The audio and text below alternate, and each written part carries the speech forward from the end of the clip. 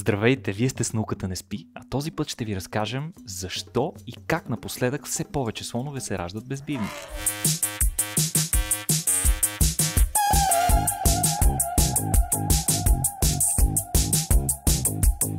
В един от последните ни епизоди си говорихме за слънчогледи.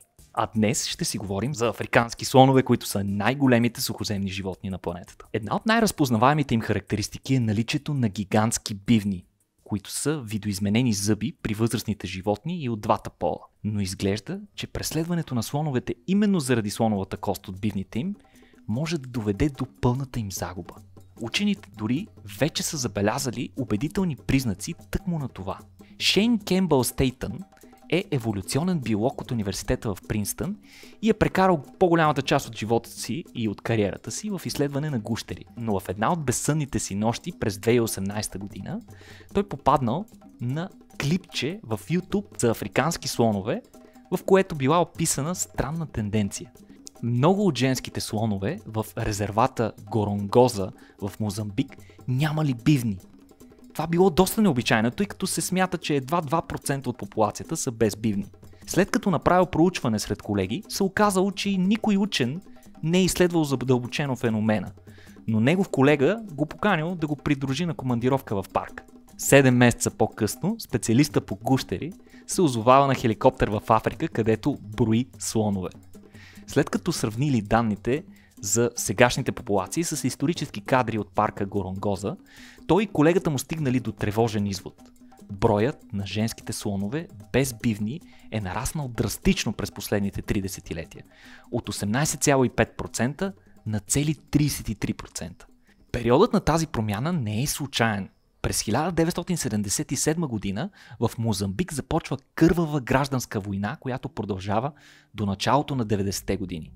В този период числеността на дивите животни в националния парк Горонгоза е била редуцирана с 95%, като едрите тревопасни животни са пострадали най-много. Повечето животни са убивани за трофеи и храна. И двете страни в конфликта ловуват особено активно слонове, продавайки бидните им на черния пазар, за да финансират военните си действия. В резултат на това над 90% от африканските слонове в парка Горонгоза са убити.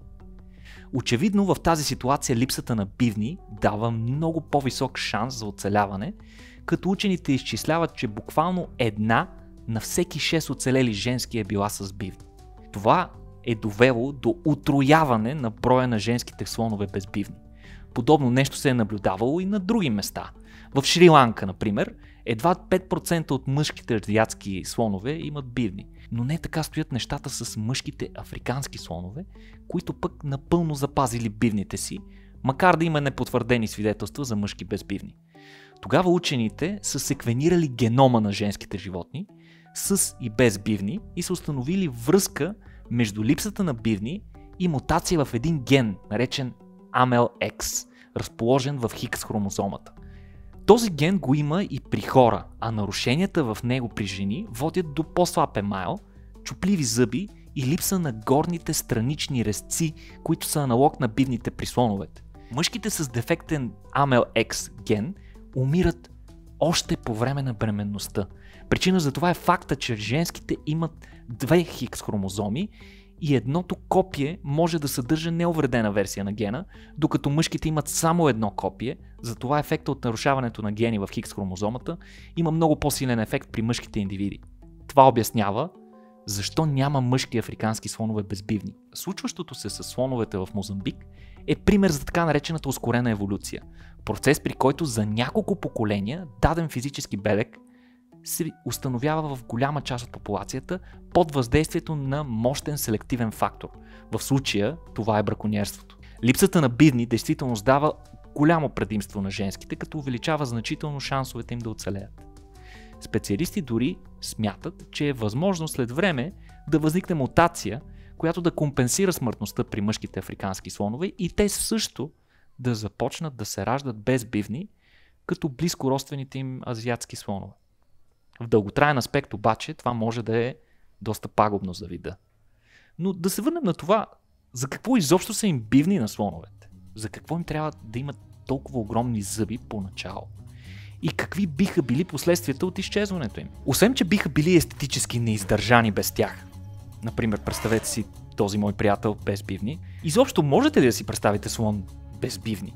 Всъщност, бивните са швейцарското ноще на слоновете. Те ги използват за да изравят дубки в търсене на така важните за тях вода и минерали. Например, едно възрастно животно, един възрастен слон, може да пие между 70 и 100 литра вода на ден. Освен това, с тяхна помощ, слоновете белят кората на дърветата и ги събарят, за да ги използват за храна, като така поддържат тревистите хабитати и ограничават разрастването на горите. Освен, че ще намали достъпа им до храна, липсата на бивни може да повлияе и на други биологични видове, които са по-добре адаптирани за живот в саваната. Това е поредния пример за това как човешката дейност може да променя траекторията на еволюцията на други видове. Учените предполагат, че ако ситуацията в Мозамбик се нормализира и няма повече войни в района, може би африканските слонове там ще възстановят бивните си, но това ще отнеме доста, поне 6-7 поколения. А знаете ли, че най-големия бивник при слон е бил с дължина 3,5 метра и тегло цели 120 кг. Също както и ние предпочитаме да работим с една от ръцете си, така и слоновете предпочитат да боравят само с един от бивниците си, левия или десния. А кой е най-големия бивник откриван някога? Това е бивник с дължина почти 5 метра и е принадлежал на колумбийски мамут, който е умрял преди около милион години. Повече любопитни научни факти може да разберете в нашия подкаст Рацио Уикли, където често си говорим за слонове, мамути и всякакви животински новини. Ако харесате това, което правим, не забравяйте, че може да ни подкрепите, като станете наш патрон на patreon.com наклонена черта RACIOBG или на RACIOBG наклонена черта support. Следете също нашите дейности в социалните мрежи и се абонирайте за този канал. Бъдете с нас и следващия път за още вълнуващи научни новини.